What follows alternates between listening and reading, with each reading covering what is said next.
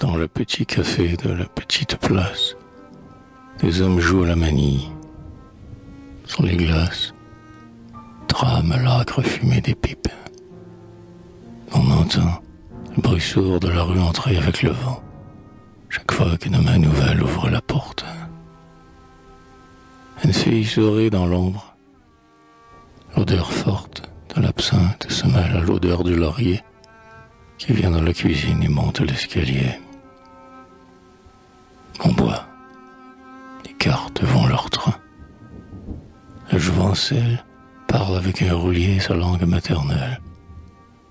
C'est l'heure où le travail a cessé de régner, où le repos des champs se laisse accompagner dans l'air épais et chaud d'un café de Bourgade.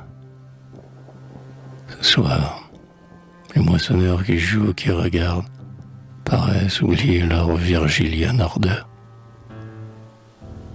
Lampe éblouie danse comme une fleur et croit enguirlander tout le petit espace. Mais, sur le vitre bleu qu'un peu de jour enlace, le pays lourdement s'épuise. On voit le blé, les vignes, tout le ciel qui vient de s'étoiler. Les hommes, deux par deux, redescendent la route. Le café n'est plus rien qu'un point rouge. On écoute la nuit qui met son cœur sur le vaste berceau. Des plaines, des maisons, des pins et des coteaux. Les cyprès, ces soldats des champs, montent à la garde. Le pas d'un cheminot résonne.